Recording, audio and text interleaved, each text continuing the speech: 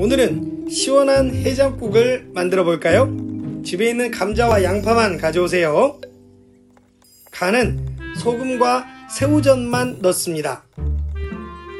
달걀, 간장, 된장, 고춧가루 이런 것 안 넣습니다.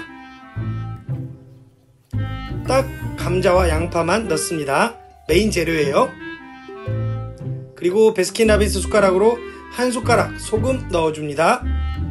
참고로 지금 보시는 양은 물 1800cc 라면 3개 끓일 정도의 작은 감자 3개와 양파 2개를 넣었습니다. 뚜껑 닫고 한번 끓여줍니다. 그리고 전 마당으로 나가서 매운 청양고추 2개 따왔습니다.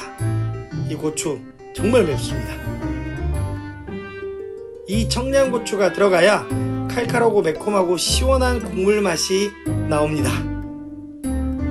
국물이 팔팔 끓으면 88 올림픽 죄송합니다.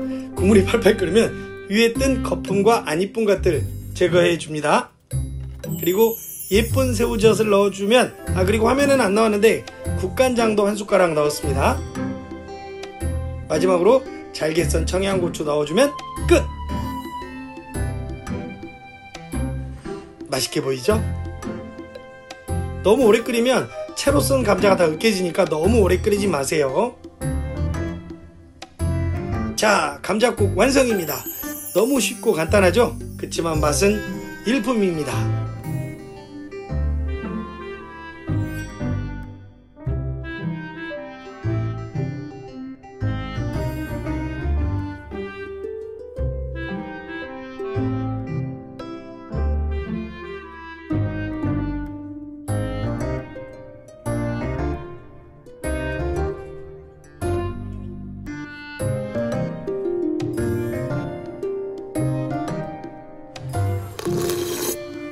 국물이 끝내줘요.